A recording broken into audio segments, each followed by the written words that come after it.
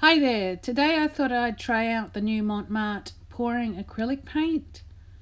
These are all pre-mixed so best to shake them very well before using them. Normally you'd spend a bit of time mixing the paints with your medium, Floetrol, glue, water, whatever it may be. These are straight out of the bottle, you use them. So it's a lot faster I guess and uh, if you're having issues trying to get beautiful cells and um, some really nice looking paintings then this product might be a good alternative for you.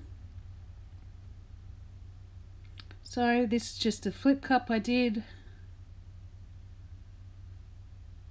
And as you'll see there's some pretty cool cells developed already I'm guessing there's some silicon in this premix or some sort of oil. As you can see, the colors are pretty vibrant. I've used in this mix dark purple, turquoise, coral, and my normal mix of white house paint with one and a half Floetrol. They didn't seem to have any white in their product range of the premix paints. So as you can see I tilt quite a lot in this video but I'm not losing many of the cells at all and that normally happens when you over tilt and you get those squiggly caterpillar lines. But this consistency is much thicker so you don't lose it as much.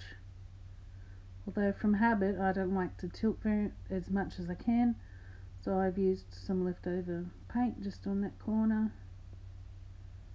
or that edge and just tilt a little bit more to cover it. But if you are struggling, you're a beginner or if you've been struggling for quite a while, this product may just give you a little bit of boost. It's very simple to use, color's vibrant and obviously you will get those beautiful big cells.